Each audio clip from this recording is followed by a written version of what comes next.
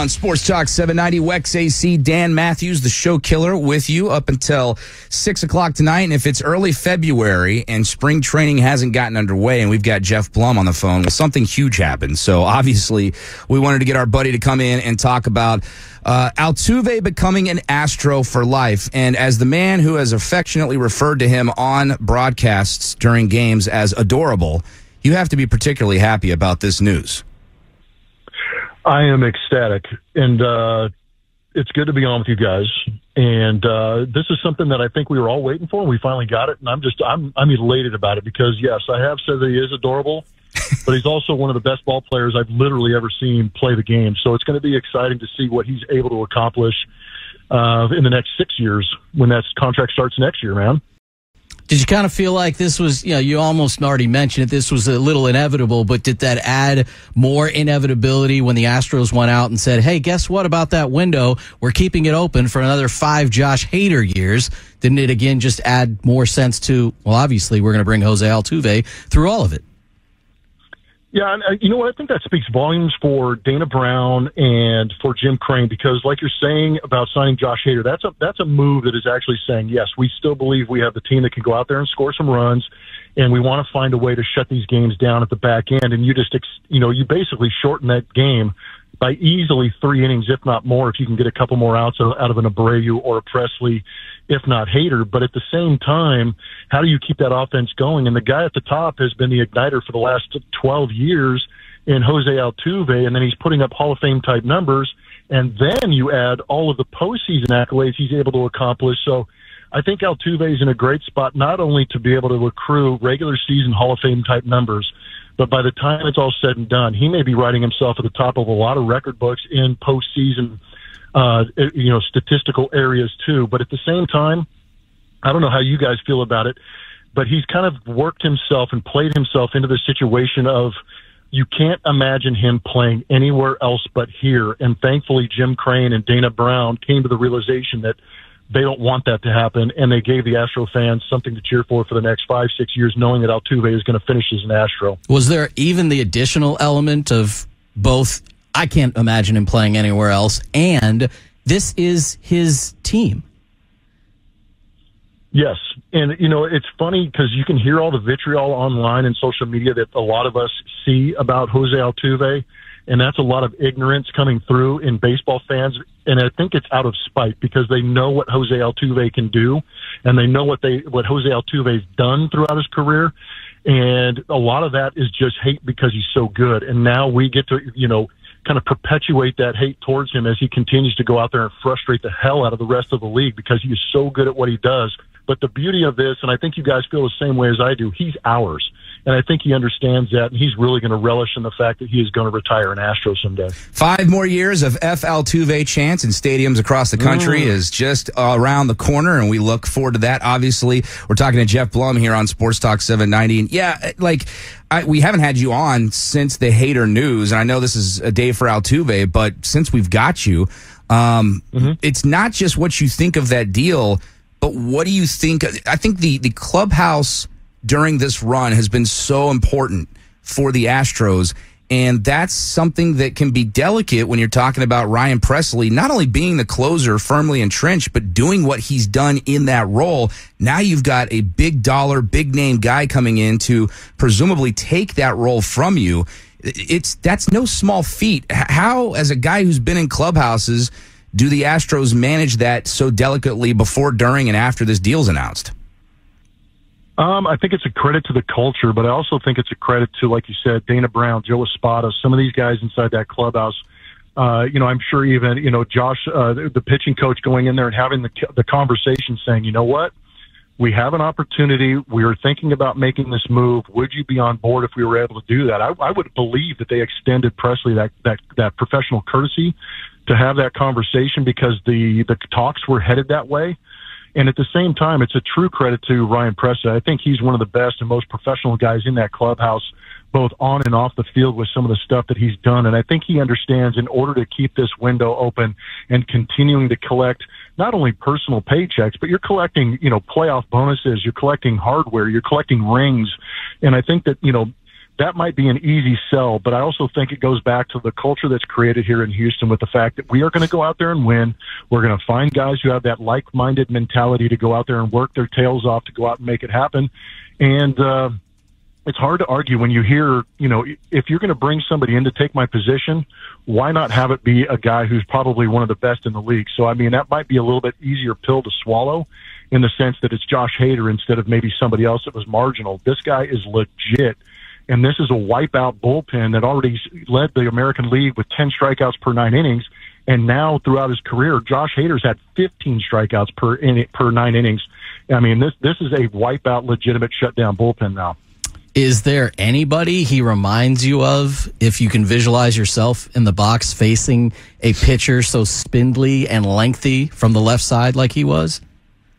Well, if you if you take the the stature out of it, I mean his delivery is very reminiscent of Randy Johnson. Kind of drops down a little bit at that three quarter arm angle, and the ball just comes jumping out of the hand in the upper 90s, and then a put away slider. I mean that stuff wise, it's very similar. But uh, you know the Astros have had a lot of success having a, you know particular left-handed pitchers out of their bullpen that throw 95 to 100 miles an hour to close out games. So one, the way that t- today almost had to go because every time something major with Altuve happens, we, we he gets asked to look back because he's one of the holdovers and one of the greatest from the time when this team wasn't winning at all and when there were 100 lost seasons going uh, consecutively over a three year period. And he took it back even further, obviously, when he was just brought up and recounted the Astros telling him that they he's the temporary solution until they find a permanent second baseman. That was 2011. He's been the permanent second baseman ever since and will likely continue to do that uh, for the majority, if not all, of this contract. And I say all that uh, to ask you about the expectations to what turned out to be reality. I mean, the best players in Astros history almost were, you know, in Biggio's case, this was a top pick. He happened to be a catcher. The expectations that he would be very, very good were always there. Jeff Bagwell was blocked in Boston, although a very highly touted prospect. I don't know that they thought his career would be this great, but he was a player they figured would be very, very good, which is why they wanted him from the Red Sox. Altuve was none of that. And then he came to the minor leagues and started hitting and he's never stopped. So the expectations versus reality, I, I, can't imagine. I wonder if you can something being so grand like Altuve has produced.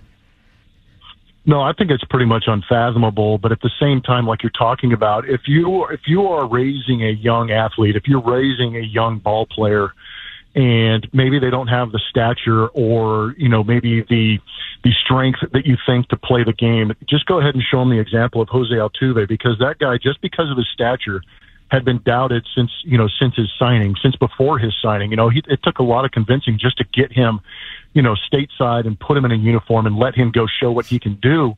And it's a credit to Jose Altuve too, understanding that everything was against him, but he loved the game so much. He worked hard, and obviously there was this ingrained ability to get the barrel to the baseball, and he never doubted himself for a second. And here he sits, you know, with 2,000 plus hits later.